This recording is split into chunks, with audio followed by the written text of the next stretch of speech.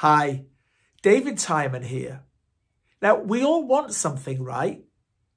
We all have dreams for our lives, and dreams are worth fighting for. Those dreams include the American dream, financial independence, and following our own unique path. This documentary is about the opportunities, the trials, and the tribulations of people fighting for their dreams. So enjoy. The best way I can describe how people's views of success have changed is that I remember my upbringing and I was basically told by my grandparents, you will get a job in the bank. You will do as you're told. You will stay in this town, you will comb your hair, you'll pull your socks up, and you'll be a good boy. And I thought, fuck that shit.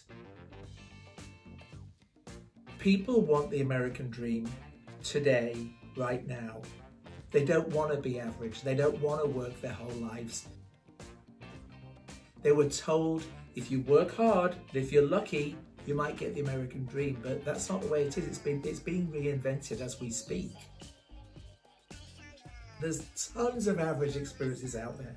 I don't want them. I certainly don't want to provide them. I was worth $20 million and now I was worth minus 6.4. I had nothing. I looked down at the back of the sofa enough times. There was no money there. I was broke. And I did think at that time, should I have done the expected route? Should I have done the average journey?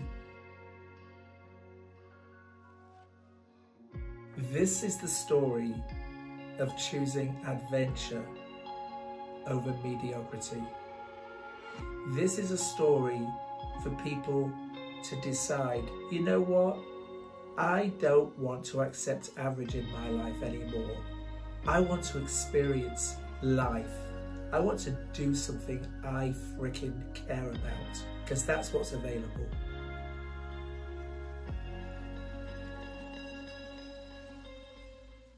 Thanks for watching our fundraising trailer. Now, some of the proceeds go to liver disease and some of the proceeds go to the Innocence Project. America is built on freedom and the Innocence Project gets people out of prison who are innocent.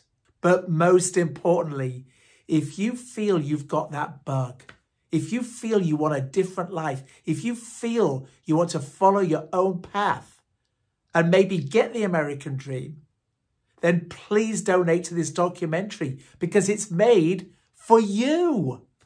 Thank you so much.